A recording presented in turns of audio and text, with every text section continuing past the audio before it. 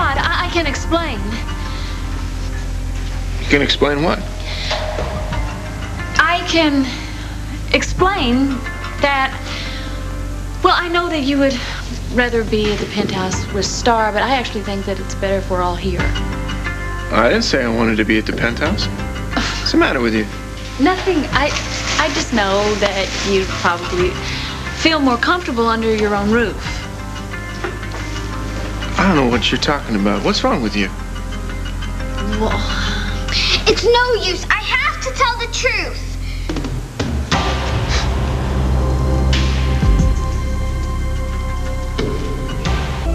Tell the truth about what, Starr?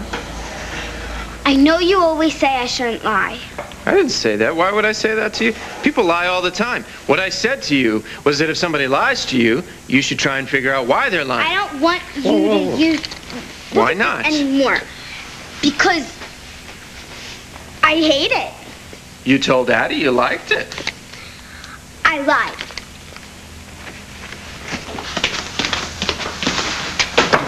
So that that's the lie you were talking about? Daddy, this thing is so ugly, it's embarrassing. Oh, I know. But why does that upset you now? Well, because uh, tomorrow Grandma Addie's gonna ask me if I still like it. And I'm going to have to lie again. So what? you know what? Starr, that that's okay because you just don't want to hurt her feelings. And you know what? Sometimes telling the truth is not such a good idea, especially if it's somebody that you love and you don't want to hurt. So sometimes it's better if we kind of just like leave that part out, you know? Right, I think I get it. Great, and you know what? I'll take this up and I'll I'll put it in the attic for you, you know okay? what? You know what? Let me do it. I can catch some spiders while I'm up there. Oh, good idea, honey.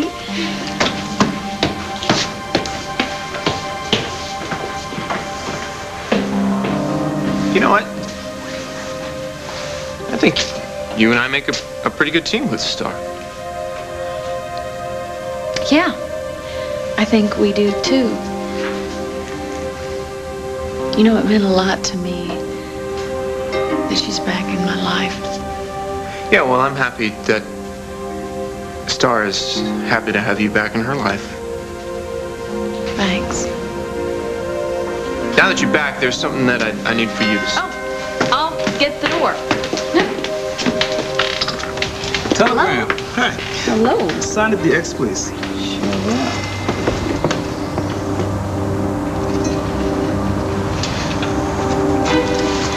All right. Have a nice day. All right, you too. Okay.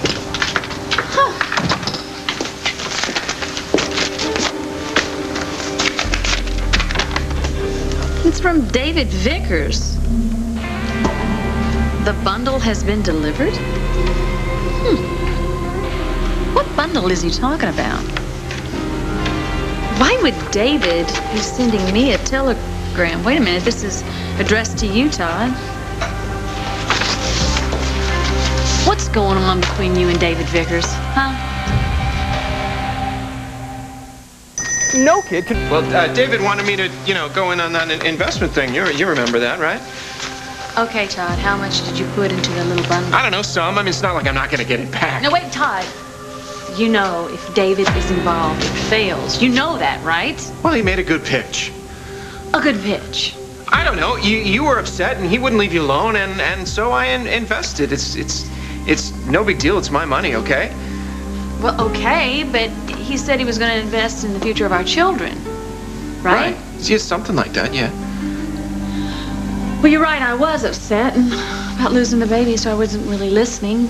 So you invested into the future of the child that we have? Right. Starr. I mean, well, you know, Vickers got me thinking about the future. Well, who knows? Maybe it'll work out. All I know is that I am so grateful that you came to Mexico, Todd. I really am. I don't know what I would have done if I had lost everything the baby, Starr, and you. Look, you want this thing or not? Absolutely. Okay, close your eyes. Oh, no. Am I gonna like this, Todd? Hmm? You'd better.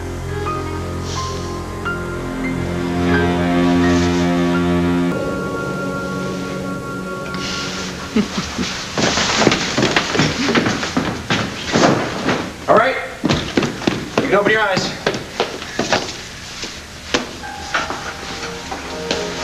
I'm in the picture. Yeah. It's, uh, it's you and me and, and Starr. But this one. It's different, Todd. Yeah? So?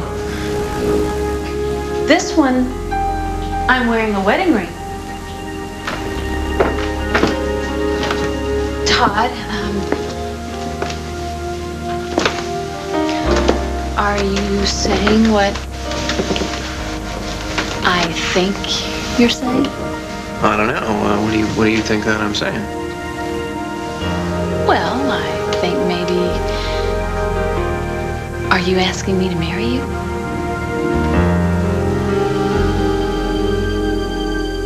Are you? Am I what? Are you asking me to marry you? You hear me asking? Todd, I know that declaring your feelings isn't your favorite thing to do. What feelings? You're afraid of being hurt. I mean, who isn't? But you know, sometimes you have to go out and take a chance and say what's in your heart. Otherwise, the chance just maybe passes Don't you get all philosophical on me. Todd, you had a wedding ring hand painted on my finger in the family portrait. I think that's a very romantic, sweet gesture. Yeah? You like that? But it's not enough. Come on, Todd, you've come this far. Why don't you take the next step? And just tell me, is this a marriage proposal?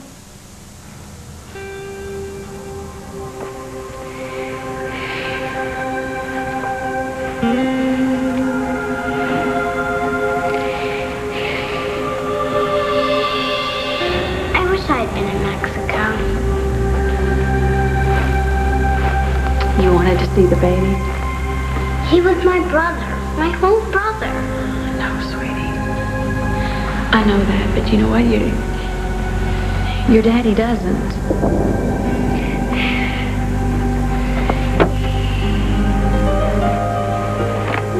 I wonder what kind of treats Daddy would give me if I told him. What, what are you doing?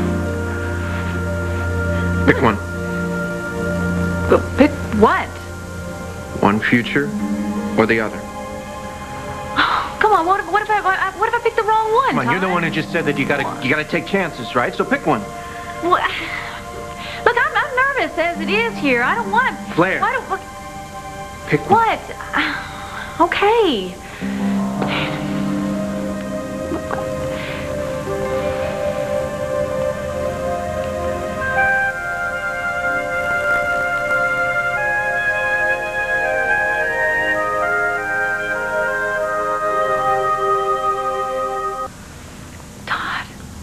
Most beautiful ring I've I've ever seen. I think it's even prettier than the last one. Is that a yes? A yes. Question, Blair. Come on, Blair. Well, I- I don't know. What do you mean you don't know? I, I, I don't. No, I mean, look, it's, don't think that I'm not saying yes right away because of you or anything. It's, it's me. Well, you're not asking you to marry you. I am. God, it's just, it's just the timing and everything. I mean, do I? Well, why do I have to give you an answer right now? No, no, no, no hurry. Really, take your time. I mean, you can answer me anytime in the next 60 seconds. Todd, we just got back from Mexico and I just lost my baby. Okay, all right. Then you know what? Enough about the baby. The baby's gone. The baby's not coming back. But life goes on. And I've accepted that.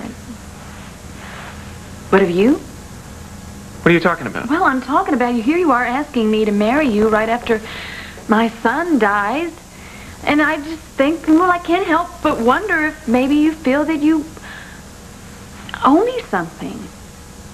You're nuts. Come on, Todd, you delivered the little boy and he died and maybe, I don't know, maybe you feel responsible. No. You heard me. Just get rid of it. Why would I feel bad about the kid? Well, you, you shouldn't.